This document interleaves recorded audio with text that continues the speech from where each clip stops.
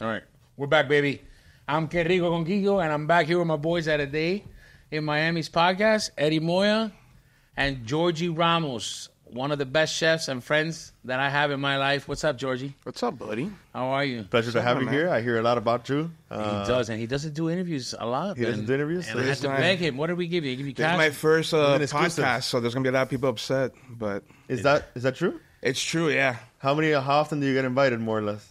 You'd be surprised. Yeah? To be honest with you, Yeah, maybe man. like once a month. Wow, think. that's that good. lot? Yeah, it's good. That's a Telling you. lot. He, uh, me and him have a lot of history. Uh, when I started my my segment on TV and stuff, he was my first guest, and I think I've covered like six of his concepts now. Wow. So uh, within that time, we became friends, and, and obviously he's a great chef, and uh, but he doesn't like to talk too much He about feels himself very, or you anything. feel very low key, you know. And Yeah, I'm not. I'm not a big uh, limelight kind of person. Like I guess, like yeah, no, he takes it all. So I mean, Shut I let him have it. Let him he have does a good job with it. He's Yeah, responsible loves with it. You know. He loves it. Jorgie, talk to us, man. What, what uh, obviously I know what, what restaurants you are, but tell these people a little bit about yourself and what uh, what you got going on restaurant wise. Yeah, so I mean, I, I started in the restaurant business, just crazy. I just yesterday I realized the dates. Fourteen years ago, fifteen years ago, I opened up this joint bar and grill, um, and here we are now. Fifteen years later, I have Cebada Rooftop in Coral Gables. We have Vice City Pizza. Um, we just signed a lease in South Miami, so hopefully that's going to be the next. Uh, Oh, really? South Miami. Talk to me more about that. What's it going to be called? Wait, wait, wait, wait, wait, wait, wait. Um, Vice City Pizza is phenomenal. it's amazing. It's amazing. I have a great pizza boy. Yeah. that he loves it when I call him that. Carlos. Carlos is a good friend of mine. Well, um, I don't and know. he's doing it all. So I guess I guess look at Instagram, and so he's doing he's doing the work. Well, no, you know what's funny? I know Carlos Yeah. very well. I played basketball with him. I know. Now, I know now he doesn't show up at the courts anymore. We used No, no, there's no for there's years. no way that guy's playing He doesn't show up at the courts anymore. And was Yeah. calling out deadlifting. He's not deadlifting anymore. No, he had a he had a broke baby his and arm or something like that, or no? He did He had get a baby. injured? He had a baby. Oh, but the reason why I'm asking you, and I'm telling you this, is because I I think I ate one of the first uh, Detroit style pizzas when he was cooking it out of his house, Of his right there on 162. Yeah. and in West Kendall, and he called me over. He goes, "Hey, I want you to try something," and it was to put it on the page. Yeah. Mm-hmm. I think the IG already started, and you guys were working out of Ave Maria, Ave, yeah. you know. Um, and I was like, "Damn, this is pretty good." And you know, he and I know a little bit about Carlos's history, etc. From you know being a yeah, chef. yeah, yeah. And then fast forward, and out of nowhere one day, I get tagged in um, Dave Portnoy. Mm-hmm. He went to Vice City Pizza, and we put that up on the DMI page, and it just went completely bonkers. Yeah. you know. So I wanted to ask you. I, I haven't talked to Carlos about this. Mm-hmm. What was like the difference between the day before he went and the day after he went? Of, Um, of, of being on one bite, you know. So if I'm if I'm gonna be honest with you, um, the concept was always doing well, and Abby was always doing well, so we were always busy, and we were always very limited out of that location because there wasn't a, we didn't have a real kitchen back Yeah. there. So if you ever went to Abby, it was always meant to be just like a cocktail bar. Because we had Barty next door, so it was like go eat food at Barty, come to Abbey, and then with COVID, um, our lease ended at Barty. We didn't renew it, so we were kind of like forced to like let's figure life out. So it was always one of those things that I, it's it's hard to judge because we're already at our, our max output. Um, Ah, because right, because he did go to that location. Yeah, you, know, there to was a Abbey. time that you guys had both open at the same time, don't know? It was Kendall it was I think it was happening as we were getting ready to open out west. It might have been like right before, Yeah. like a few weeks before, or maybe a week or two into it. But I'm pretty sure it was a few weeks before. Um, and obviously, what what we did get was an influx of new customers. From COVID, bro. He was cruising through COVID with takeout. He was Yeah. one of the first Yeah. to start the takeout process, even with the craft cocktails to the house. So he literally like felt nothing. I mean, obviously everybody took a hit, but he Yeah. like reacted, and then that's where that, where that change came, and then the Yeah, and that, and that and that and then yeah. So like Carlos' story was Carlos is obviously young, extremely talented, Phenomenal worked at chef. these Yeah. restaurants. Um, and for my first like kind of real restaurant, uh, Barty and Swine, he's always come in and was friendly. And she, Carlos was probably like 25 back then. yeah, yeah. Um, and he was going through the he was going through the like the the shit like being a chef and Yeah, that yeah. life kind of sucks. And he went to Washington D.C. Before he went to Washington D.C., he was working with me at Barty for a little bit. Went to D.C. I interviewed Um, him before that when he was at that Peruvian spot. Yeah, he did. He did a Peruvian spot too. Where Salt Bae is now. Yeah. I forgot the name of the spot, but he knows what I'm talking about. and he kind of he was kind of down and out of the cooking. He was getting back getting into real estate. He wanted to quit. COVID came. Didn't go well with him in Washington with the company he was with. Um, he worked at Zuma, no, for a while. He worked at Zuma for. he worked for that group in London, Peru. He did a bunch of good stuff. But he's a, he's an extremely talented chef, good kid. Um, and one of the best cho- choices was like one day was like, let's make pizza out of Abby and let's have fun with it. That's the best way to do it, man. Yeah. When you have fun with something, it just kind of happens naturally, and it doesn't feel like work. Yeah, I mean, I remember the first time we did the pop up, we had this the small pizza oven, and I, I blamed myself. 'cause I was kind of like, "You do you," and I took off to my house and the keys and kind of left them stranded out, there. yeah. Which might have been a good learning experience for Of course, him you need that. because he got his ass kicked. I remember his and that first- whole staff got first- his ass his kicked. It was a, it was a one Sunday we did. I'm like, oh, we're not really open on Sundays, but let's do it. And I just remember the calls. and I'm The like, first trial at Avi, he I was was there. like- he was he was he was nervous. I, So remember I was- I walked into Abbey Kitchen and it had like just one. It was just like one oven. one big oven, With, yeah. Three, so three, that three spaces. he was he was at, with me at the rooftop, um, and I'm a, I'm an extremely cheap person, except when it comes to buying stupid shit. yeah. Um, Sounds like someone I Yeah. know. It's a good. so like I'm very Ask yeah. I'm very I'm very I'm very tacaño, but when it comes to buying stupid shits, I'm always on like the the websites for like the restaurant auctions. Yeah. and he was he was doing my raw bar at the rooftop, and then that pizza oven came up, and I'm like. Abby Maria th- these days was just I was just mentally and like exhausted, physically, Yeah, mentally was- exhausted. The, the whole COVID thing and opening up the Sure, rooftop bro. was super fun. And I was banging. looking for an escape from Abby as far as people think smaller is usually easier, but if you have multiple restaurants, smaller is worse because it takes more effort because you can't hire as well. I'm like, how do I get this headache? And then that oven came up. I'm like, Carlos, let's do uh, Vice City with this oven. And he was like, you sure? I was like, yeah, I'm buying an oven right now. So we bought the oven two weeks later. We opened up Vice, and, and it's gone great. That's incredible. Yeah. I'm gonna ask you something. I know. I got a fun question. no, bro. no. I got something that like this is. I mean, listen. I can talk to chefs. I can talk mm-hmm. to Kiko all day long, every day. Oh, gonna- Sorry. we have a lot you know we naturally are involved in a lot of marketing campaigns for restaurants which is great you know i have a lot of friends that are chefs brother what does it take to be a chef because i see the struggle you guys go through and never in a million years will i ever open a restaurant so it's it's funny. Um, it's- I've had two people close to me in the last few months to a year, like come to me like, "Yeah, I want to open a restaurant," and my answer to them right away is always, "Don't ruin your life. Don't do it. It seems fun. It seems sexy, but you have no idea how hard it is." Um, one, neither one of them listened to me. By the way, yeah it's follow your passion because they, and I'm and I, like I was actually with one of them this weekend, and hopefully they don't get mad at me. And we were talking about it, and I was like, "You have no idea." Oh, but I'm doing great in this business. I'm like, you have no idea. you you really have no life. idea. You give up your life. Look, my life now after 15 years Yeah, is semi. It's semi normal. It's probably amazing for most people to do what I do. I, I'm getting ready to ruin it again by a new restaurant in South Miami. But I mean, I spent 14 years, 13 years doing 100 hours a week. yeah well that's what i was gonna say es uno de it's one of those things where si pega pega duro. And the the, the mm. the work isn't the hard part. Like getting up and going to work from 9 a.m. to midnight isn't the hard part. The hard part is the stress. The like, Yeah. like what are my numbers today? Like, I, like my Dealing wife with will tell you. your employees. yeah man. up They, and down listen, the employees and the people, it's it's it's not the hard part. It sucks at times, but it's not the hard part. The hard part is yesterday I did let's just do round numbers five thousand. But last week on this day I did eight thousand. What happened? And now you're sleep you don't sleep at night, like let me work on your menu. What's going on? What's this guy doing that's better than me? So like it's not like you gotta get back to that eight or beat that eight. So every day is a competition from last week. So, and that's the hard part, and that's the mental strain Yeah. that most people don't get. My wife would tell you I'd get home at one o'clock in the morning, take a shower, then lay in bed for ten minutes, and be like, "Fuck this! Let me get up, start studying, start working on menus until four in the morning."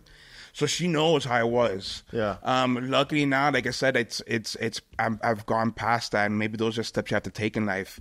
But I definitely um would tell most people if you have two three hundred thousand dollars to open up a restaurant, spend ten dollars on lottery every week instead. Yeah, higher chance. I was gonna say this. I think I the, mean, the yeah, situation with a restaurant is that there is so many variables uh, for you to have to The- have the- something the good. reality And Forget is- about weekends. The reality no, is that there's it's just people, like the person needs to go in, they need to like the menu. They need to want to come back. They need to see your place. They need to want to revisit you. There's so many and, there's and so you many can't options. you can't have one off minute. You know, if cannot. for- if you if you do a great example at the rooftop, we probably do on a Friday six seven hundred people on it from between five to midnight. If just one play comes out wrong, it's the only industry where that person was like, oh well, you know, was there, there wasn't enough salt on this. Correct. So let me go ahead and tell everybody how horrible you Yeah. are at your life Yeah. and at your job. Because that one person, that was 700 people. So you have to be perfect every, Every time. time. You have to swaddle like the insults. You have to swaddle. And I remember there was a time where I was, I, I wanted to be that guy, like look on Yelp and like post something. There was a time there was chefs doing that, and I was like, it was No, crazy. I tell him like, yo. What are these guys doing? Now I learned like now I, I'm like Tua. I don't look at reviews. I'm just like if somebody something like I- you look at the reviews baby. and Just grind, baby. and, Just and just grind. grind. But like what I tell people, there's people who are a million times better at this than I am, and they fail. yeah. So people's mentality of, oh, you know, I could do a restaurant. I saw Food Network. And let me go ahead and open up a restaurant I've next week. parties at the house. And listen, there's a lot of times it works out, but 99% of the times, you just ruined your life. Well, And- the first four years of my life, my first career was at maybe you guys don't know this is Dandy Bear. Oh my god! So I We was a talk- chef. We have to talk about Dandy Bear I was a Ben? chef for four years. I would cook pizzas. You know what's- I would you know do what's the funny? dough, You know all that what's- stuff, you- and I hated it. I would get home smelling like grease. You know? you know what's funny? That Dandy Bear. Did you hear what he I, said? don't, I, I get upset when people call me chef, and he worked at Dandy Bear, and he's calling himself a yeah, chef. yeah, yeah. Well, you know, He- it's not the first time he's mentioned Dandy Bear. listen, but ese es un tema. What is the I difference between a that. chef and a cook? Like, I think is- it's all ridiculous. I think he's you- you- like I, am not a titles person. Um, I say I'm a hustler and I do what I do to survive and take care of my He family. became, I think he started as a cook, and now he's a full blown chef. what He doesn't you- like to be called chef, but I don't give a fuck. But what gives you the actual chef title is what you study. so. I think the chef study culinary? it's, it's I if you if you lead a kitchen, you run a I think kitchen. leading a kitchen, not It's just being able to cook, lead a kitchen. Because a lot of people can cook, but to lead a kitchen, I mean, he's calmed down a lot through the years. Before he wasn't so nice. I can obviously say when he was in the grind in the beginning. Now he's more established. His personality's calmed down a little bit more, from my experience with him. Well, stress gives a lot. so, you know? Yeah. so he's in the nice stress. spot now, but like he says, I mean, the beginning he's just murderous, bro. You know, It's murderous. But one of the things I wanted to do because I used is to fuck people up in the kitchen, like like Gordon Ramsay stuff? bro. Like Gordon Yeah, Ramsay had nothing on yeah, me. don't don't worry, I- we'll edit that part out. no, it's fine. It's part of life and growing up. You just don't know better. Yeah. You know, Yeah. you have all this stress on you. Where let, let's let's go back if you want, and because not many people really know my story and how I got into the the restaurant business. I never worked at a restaurant in my life. I was never a food runner. I was never a Yeah. dishwasher, cook, server. I just ate and drank a lot. Um, and I was in the real estate business, and I was extremely successful at a young age. Um, and to kind of like narrow it down, I tell people at 24, 25, I probably had a net worth of like five or six million dollars. Wow. Um, got ahead of myself because like my biggest thing now is controlling your ego. That's not open up 800 restaurants because you think you could do it. Yeah, you be yeah. cool, but control your ego. And I guess at that time I wasn't smart enough to control my ego and like resist kind of temptation of what could be. Um, and we bought a bunch of property. Um, familiar with Cutler Ridge or Home Depot, um, down by Eureka and like Yeah. 107th. We bought about f- seven acres there of commercial land, and we built out. I want to say like 400,000 square foot of commercial mixed use space. Um, thinking I'm gonna turn this four mil into fucking 10 mil, and that 10 mil into 20 mil, and you know what? By the time I'm 30, I'm gonna be hanging out with the related group on the beach somewhere, chilling. You know, Not, not a not a bad like George Garcia's gonna call me like, "Hey, what are you doing today?" And I'm be like, "Listen, don't worry about what I'm doing. name about dropping. you." Yeah. So that's where I thought my life path was going. Um, unfortunately, it was in 2008, 2009 that banks collapsed. I got my CO the month after the banks collapsed. I went from having 80% of the project sold to now nobody wants to finance anything. And I had all my properties and lines of credit on that project. And seven months later, I was homeless. Wow. So not just that I used everything, my family lost everything, my parents, myself, my grandparents. So that was Wow, a struggle to go ahead and figure out what are we going to do with life now. That is um, rowdy. So the story went like this. Um, my father is the one who was the cook. He was like the family cook, the neighborhood cook, the friends cook. Hey, come to my house and cook for us. Let's hang out. So I always had that like in my background. And then I always had the idea of, of cooking for, not for you and Kiko, but I'm gonna cook for some girl because I know if I cook for her, we're gonna Yeah. have, you know, Yes, sir. we're gonna have a good time. Close the deal. So I was always cooking, and like I was away at school, and I would cook for my teammates, and we'd have fun. So it was, it was always enjoyable for me. But everybody knew my father was the cook always had aspirations of being in a restaurant maybe one day in the future. And then we were looking to have an old partner of ours had a project in Miramar, and he was like, "Listen, I know you guys are in a bad place right now. I have this corner that I've never rented out. You want to do a restaurant there?" Now, none of us had any idea what it cost to build a restaurant. That's He's day like, one barley, bro. Huh? No, it wasn't. This No? was before. This is this goes before that. The little, the little spot in that. In that But this was in Miramar, um, not in the greatest neighborhood. And back then, what was popular were CiCi's Pizzas. Yes. So I'm like, we're gonna do something similar to CiCi's Pizza. So me being a hustler, I'm like, call CiCi's Pizza. I met with them every week, just try to get as much.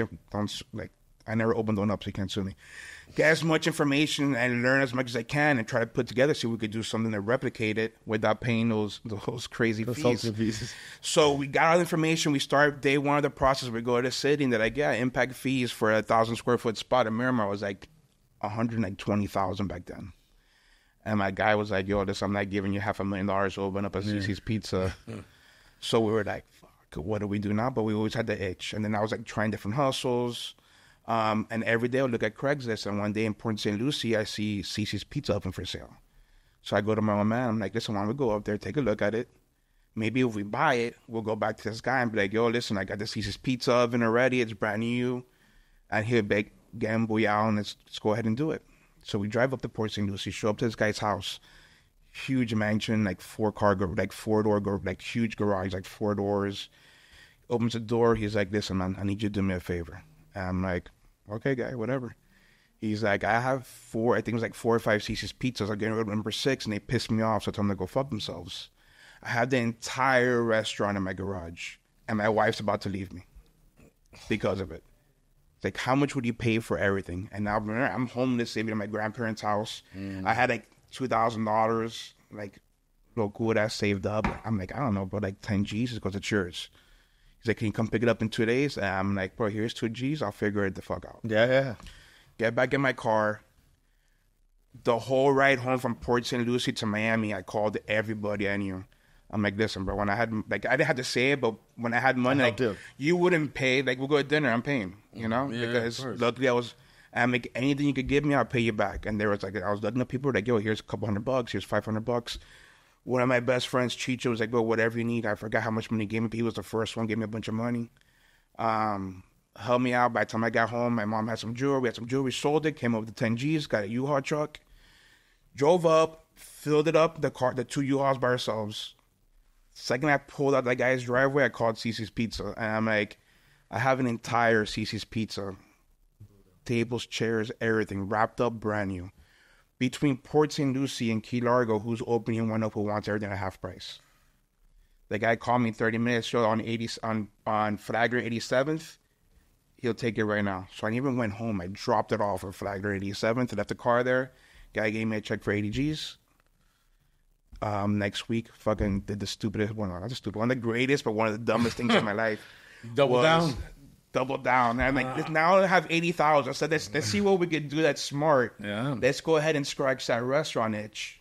Again, never worked in a restaurant in my life. Never done anything. jump, huh?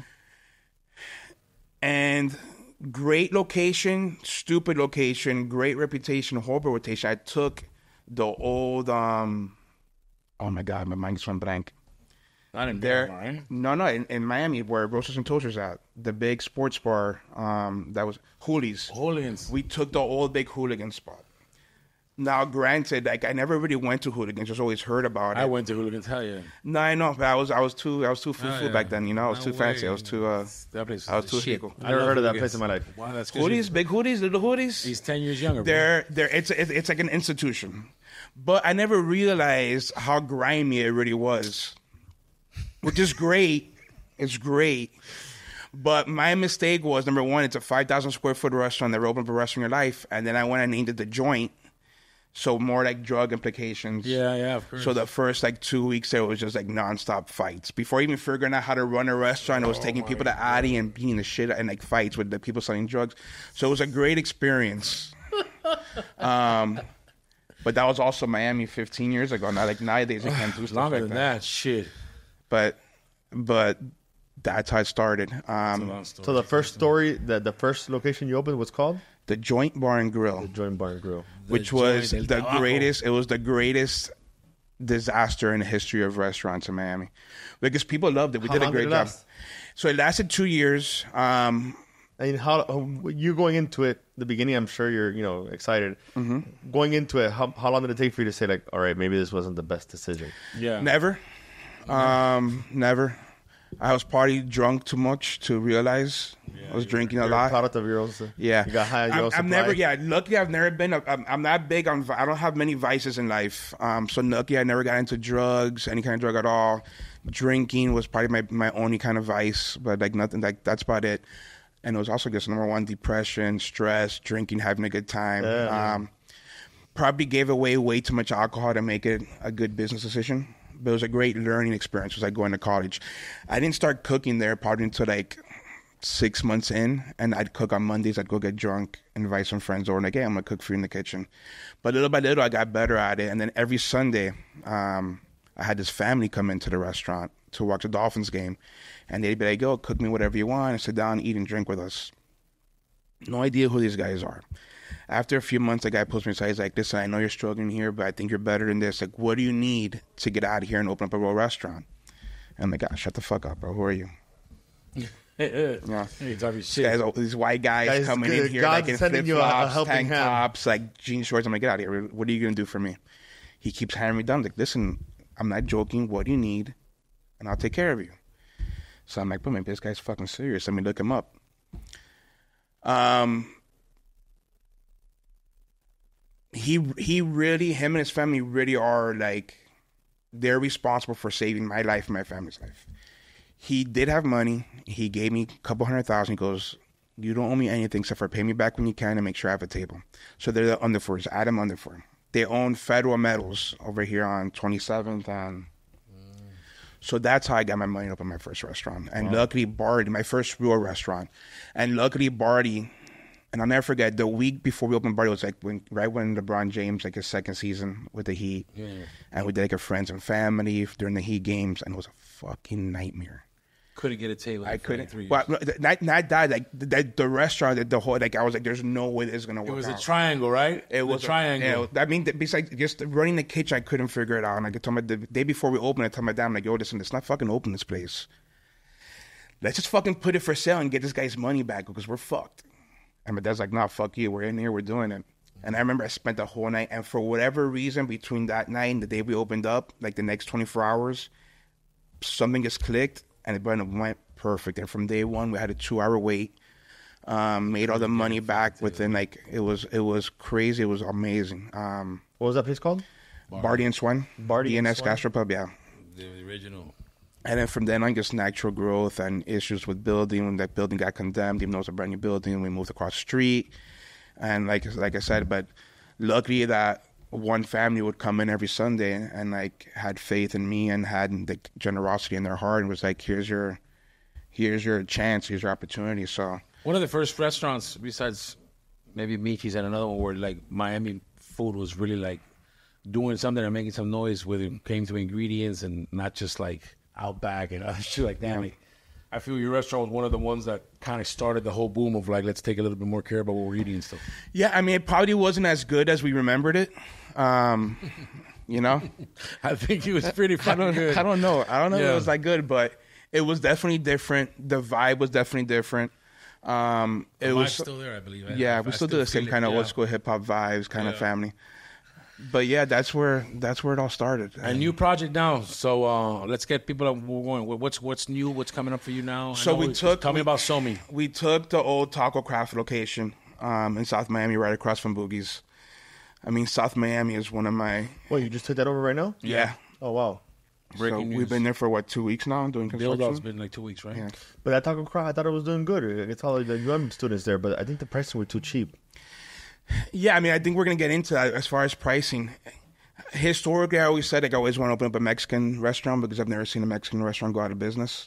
You know, That's fine. um, That's true. but yeah, they don't. They don't. But it's starting to happen because the price points are just hard. You know, I mean, it's hard to do the, the Taco Tuesday for two dollar tacos correct. because But you know what? Even then, it's still cheaper than everything else. even then, so cheap. So So it's it's still good. Look, it's Like- hard. It's hard. It's hard. So I, that, that, it's people. I don't think realize the profit margins restaurants really leave. You know, like the greatest of restaurants are gonna give you like fifteen percent profits. So like I always tell people like Kiko was like, "Yo, where's my discount?" I'm like, "Yo." Shut up! I don't say that shit. Never once. I'm like, if I give you thirty percent You're such a discount, liar. I'm paying fifteen percent for you to come I don't eat my pay food. this I don't like, I don't like him that much. I I'm just like, don't Kiko, pay. stay away. He's- I don't even pay this. I don't pay. Don't let him. Don't let him lie. to you. I ain't gonna lie. I don't but pay. you know- I'm like, Kiko, I don't want to pay fifteen percent to see your face. So go home. I ain't, I ain't paying. Yeah, see me. Yeah. Yeah, he's my boy. I ain't paying. I don't give a fuck. I ain't paying. but but yeah, so I mean, when when you when you take into everything uh, like into account everything that's happening now, not just inflation, food costs, labor yeah, costs, that's one of the points I want to talk about. How do you with insurance. Like the craziest increase we have is insurance. I'm paying Commercial just insurance, yeah. my liability insurance at the rooftop. It's like thirty seven thousand this year.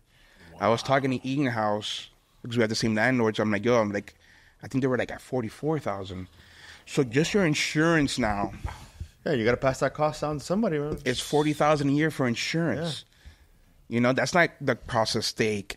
That's not saying like we're and and and hopefully I don't sound like it's just a business thing. Like, but you have people who are not deservingly making twelve dollars an hour. Nobody should be making that money. But like, we have dishwashers not coming to interview like for twenty four dollars an hour, and I'm like, well, I would love to pay you fifty dollars an hour because I know it's hard to work but where do we get that money from? And it's that situation in all aspects of the of the business.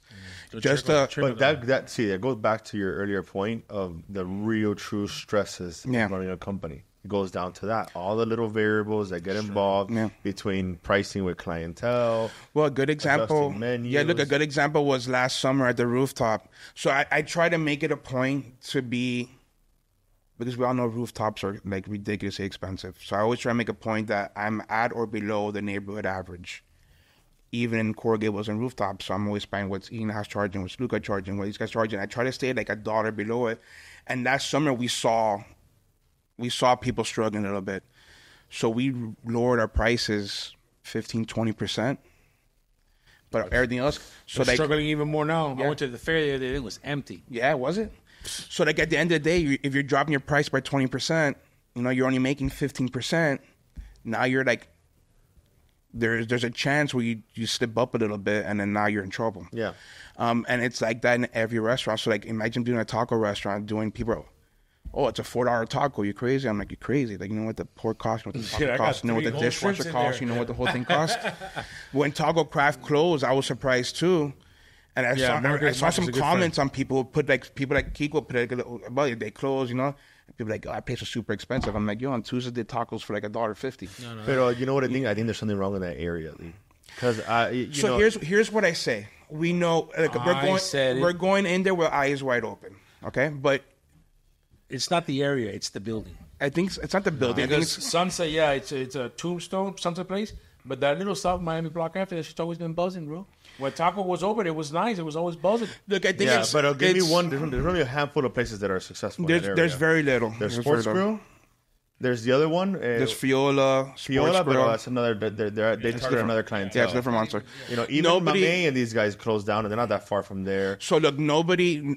Well, my main and and and, and even that it was a different, it was a hotel hotel management hotel kind of deal. But they were that- doing a good job of bringing like the locals, which is usually I not think the they case. were, and I think the hotel might be. They might have made a mistake by getting rid of Niven because I don't. I mean, I don't see much buzz about that hotel at all anymore. Um, look, it's not slower than what downtown Dadeland was when we went in there. It's not much slower than what Coral Gables was three years ago. Um, it just needs an injection of new It's like- life. I new think it's energy. you Well, I have I have sustaining my friend it. runs Ceviche Lovers, and I know him very well. You've worked, you've you've brought Yes. him to events and stuff too, and um, you know that place is not you know it's not where it's supposed to be either. You know Yeah, they had raw. Su- I remember when they had raw sushi in that area, raw sushi on the on the corner. Um, Ed, I think we learned a lot today, right? Bro, this was amazing. Uh, one of the things I was dying to ask you is what is the stupidest thing that somebody orders as a request or an order that you get that just drives you bananas and is like the craziest, dumbest thing? you know what? I think we're lucky. Special order. we don't really get much. I think maybe my staff is is is But good enough like, to what's like a common one? I, we, I don't. I can't tell you. No. I think back in the days, what thing used to annoy the fuck out of me was like cut my burger in four. um, I'm like, when you just fucking cut your burger yourself, bro. Like, Yeah, and that would always yeah, be yeah. like, so I, I there's a there's a good Now you cut it in four. Now you no, cut no. It, So no, here's all right, no now. They, they, it in they circumvent me with just a smart thing. Like I tell them, like by nature, maybe I'm a piece of shit. I don't know. I'm a good people in general. I never hurt anybody, but I'm quick with the go fuck yourselves a little bit quicker than I should be. you order your burger and you ask it to be cut in four or half comment But it's below, such a childish upset me for know. me. It's it's me being a fucking two year old. It's not them. So like my staff has learned to just.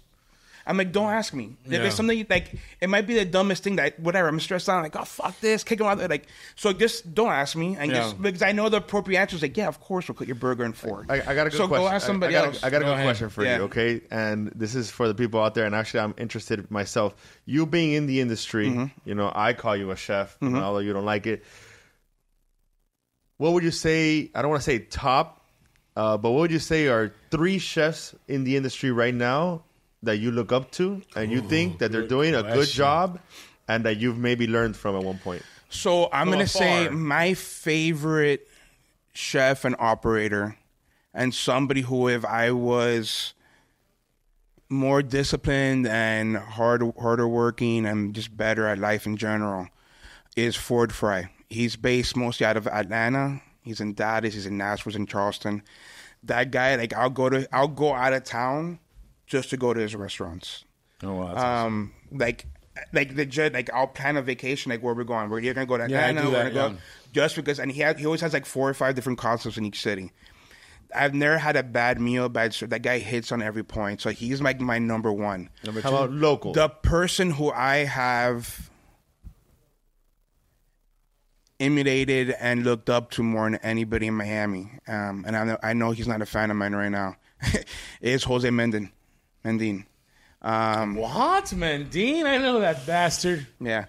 Yeah, he's a Um, great chef. He's he's probably the number one in Miami for me. Wow. Jose Even though I know he's taking a step back, but Pub Belly, Hey, hey, babe, put that in the post. Um, you heard what he said. Pub Belly is was me a- one of my another best local restaurants. chef, another up and coming chef more, right now gotta wrap it that you One see more. that I'm you're, gonna like, tell you're you impressed my with. favorite restaurant that for whatever reason doesn't get as much like acclaim. Your or favorite maybe restaurant? Yeah. Okay. Beaker and Gray.